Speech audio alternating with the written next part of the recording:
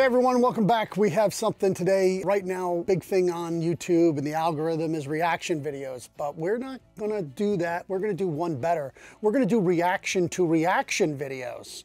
So on Beyond Wednesday, Brian McClay's show uh, over on his channel, he did in the drama alert, uh, Nick G had a thing to say about CBCS. He was very disturbed about it. We're gonna look at it, give you some commentary, commentate, commentate, Cue the laptop. Nick GQ, who I know some people go crazy when I bring him on the show, but I'm going to bring him on tonight. No, I'm just kidding. Um, we're going to show one of his posts that he put up. Now, if you know Nick GQ, he has long time had a comic book and collectibles business. He sells. He was an early whatnot guy. He sells on a lot of secondary uh, or, or third market live apps and stuff and he was has always been a big CBCS guy, right? Well, this is very interesting. He See, there are some people who aren't CGC homers, right? There are some people that want to see quality and whether it's the highest price getter or not, they're going to uh, you know, stick with their guns and get what they think is the the best quality for the price. All right, so let's see what he has to say. And this was very interesting to me, and we'll talk about it after what he what he says afterwards. Here we go. Now, something hit very personal, very angry and upset, and more so disappointed and let down. So I'm going to talk about my 1969 The Ring Wrestling magazine featuring Bill Watts and women's wrestling this issue is very important. This is the August 1969 issue. By the way, uh, many magazine collectors on the show tonight, uh, and new magazine collectors out there now. This is a tough one for magazine collectors. You're... Now, Nick G mentions it, Brian mentions it.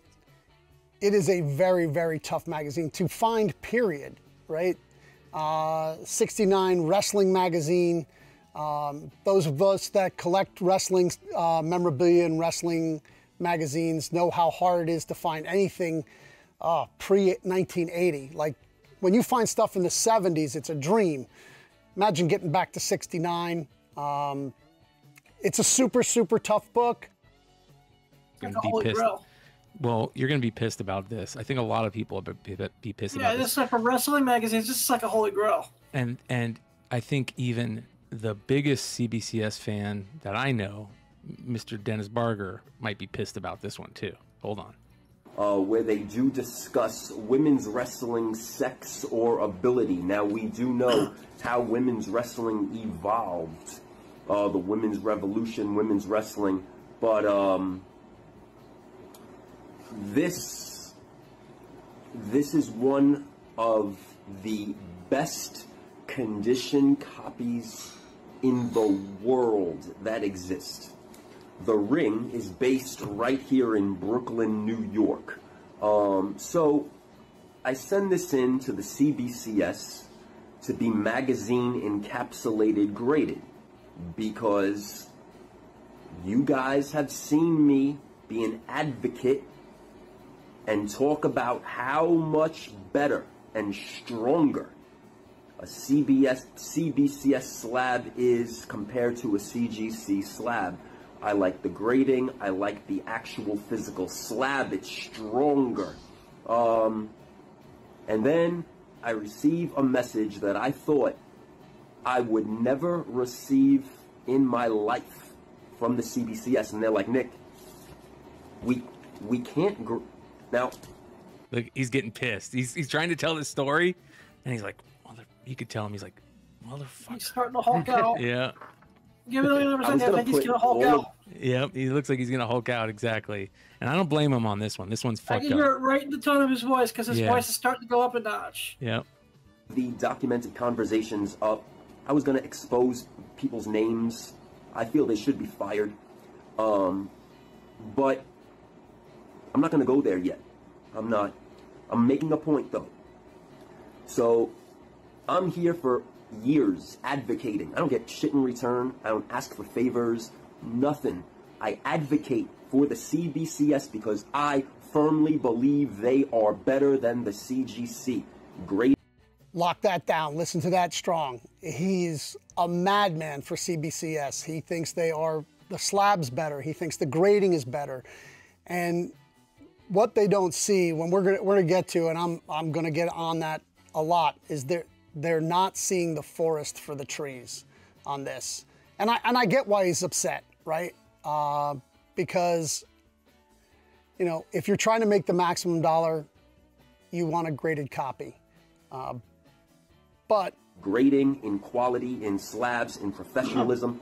And then I get the message that really rubbed me the wrong way. All right, you guys, on the panel and in the chat, what do you think it was about? And don't tell me Oh, if you know. Do you think that Oh. they ripped a book? Do you think that they ripped a cover? Do you think that they lost something? Like, what, what do you what do you think is going on here? I think they ripped the book. No, because it says No sex. idea. They can't. They can't encapsulate it. That's what you think it is because it says sex, so they can't Really? encapsulate it. Really? Yeah, yeah. yeah. Yeah, So I can't sell my hustlers to them? So of a I, I bitch. don't know. I, I'm just guessing. that's a that's a good that's a good one. That's a good one. It's interesting. Mm. It's interesting.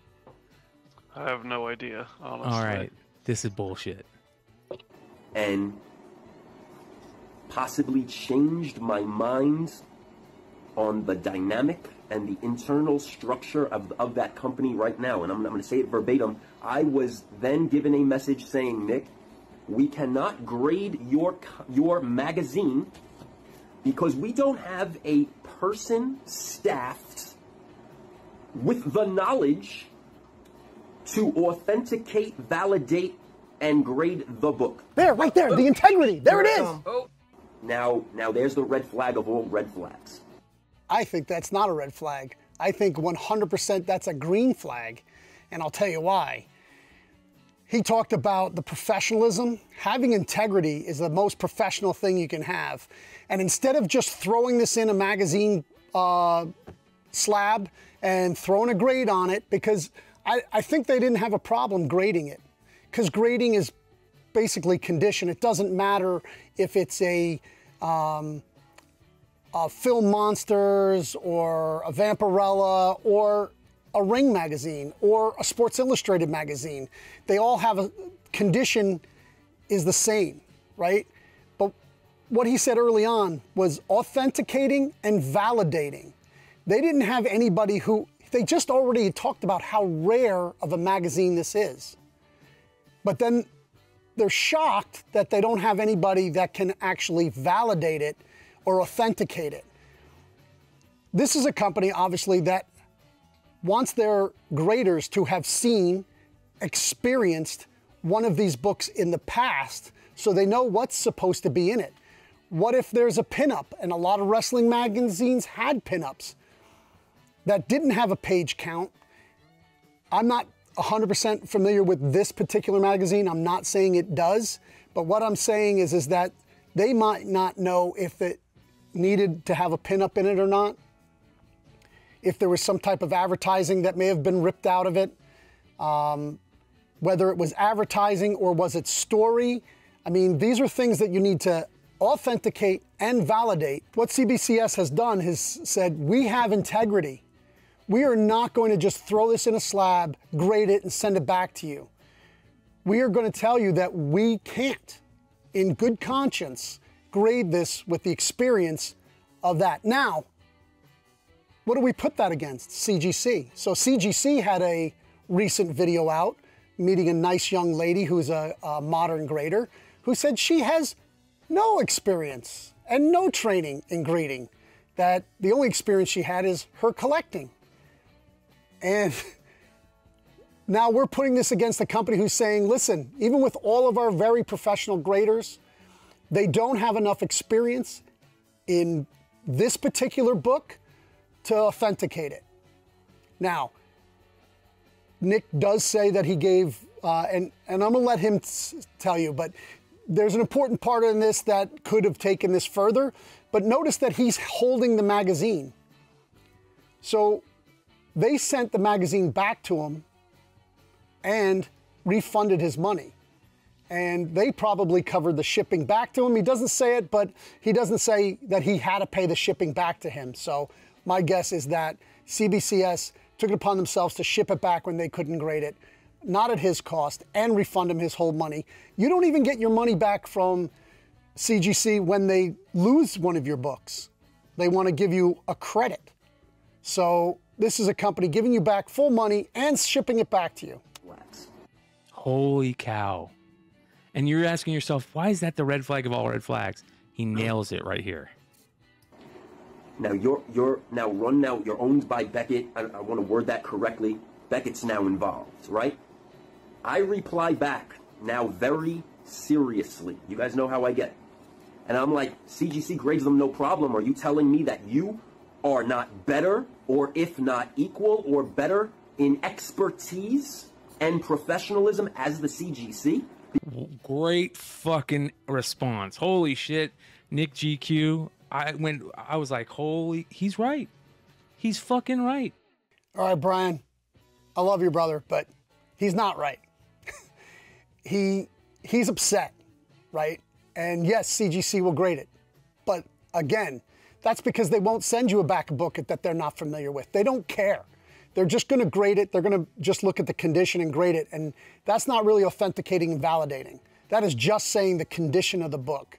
Um, they can say it's complete, but you, how do they know that it's complete? And as far as being part with Beckett, Beckett is a sports card company. They don't have anything to do with magazines. Um, they may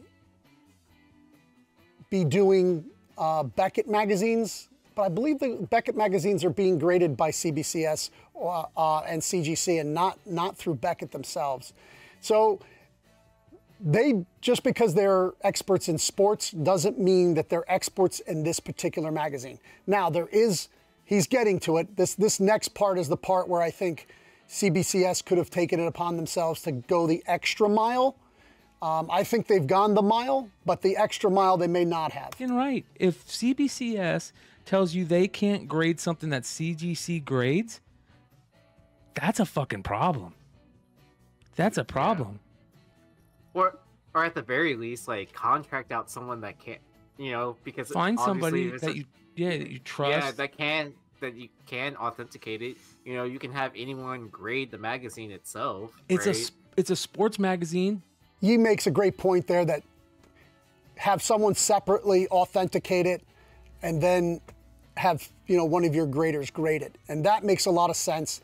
The problem is is finding somebody that you trust to authenticate it. Right? It's one of the rarest uh, wrestling magazines out there.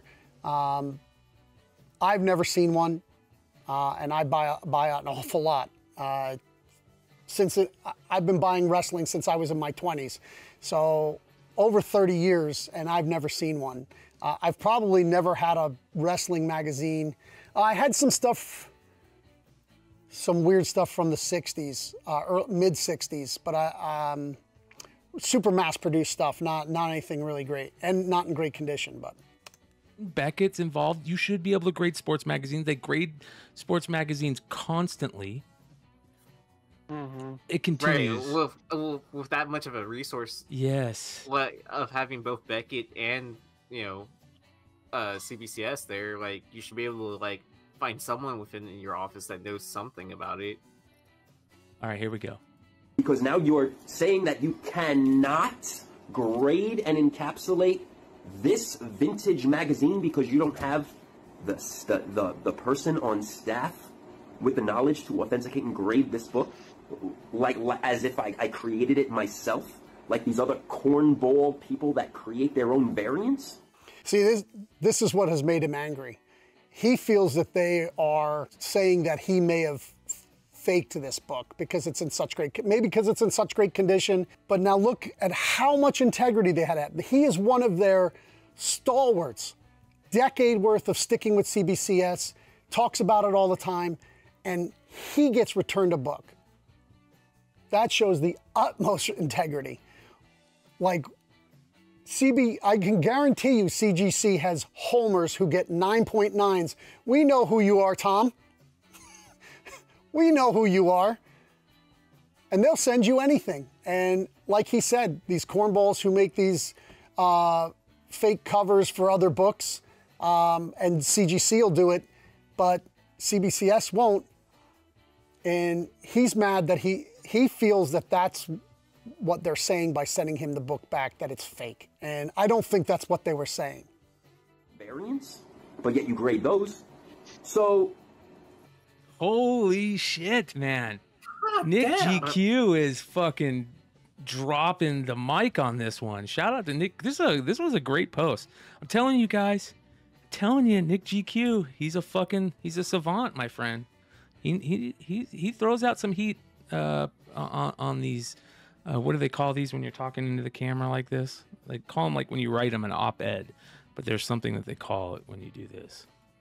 Then I send screenshots of all the CGC Ring magazines. I send them the Brooklyn, New York address with the phone number directly to Ring.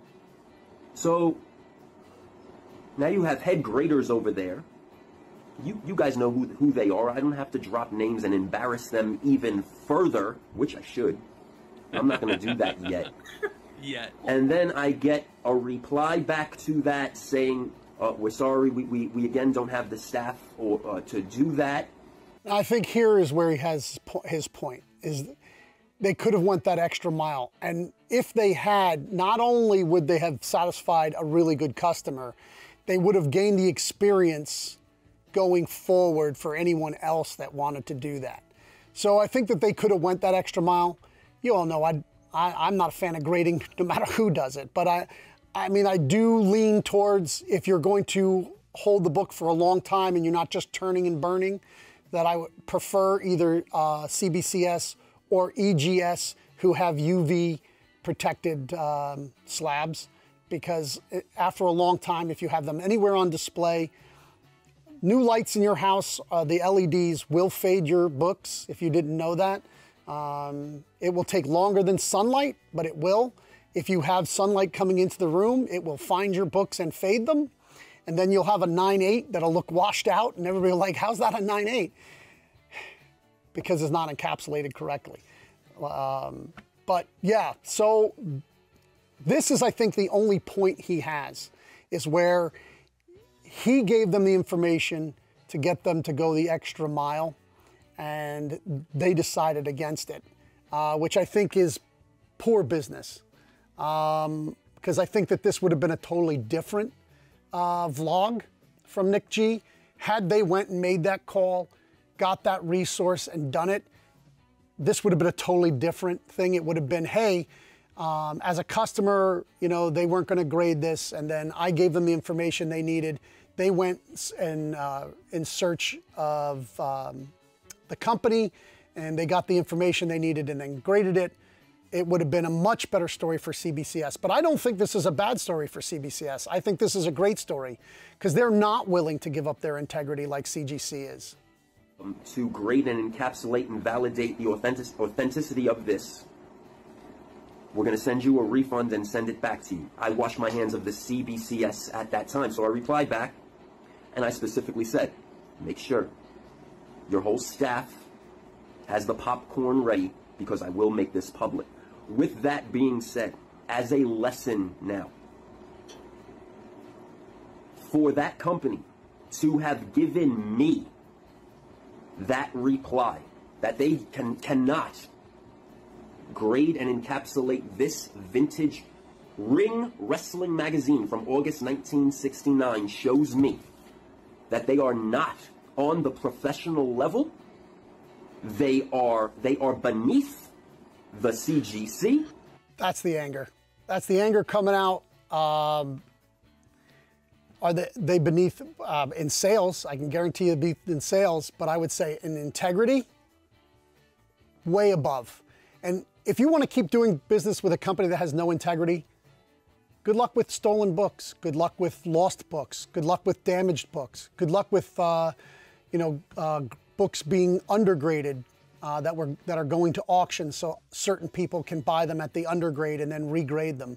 Be happy with uh, overgrades, uh, getting nine nines and nine eights, and then having them on your wall, and then later down the road when people look at it, go, man, I, I know it says nine eight up there, but I'm not paying a nine eight price for this book. Um, yeah, I mean, integrity should be what we're looking for. And, and that's 100% what CBCS is doing here, is they're, they're, when you have to give back money, businesses hate to give back money, but it shows a lot of integrity. The CGC, I love how he calls it the CGC and the CBCS, which is probably right, right?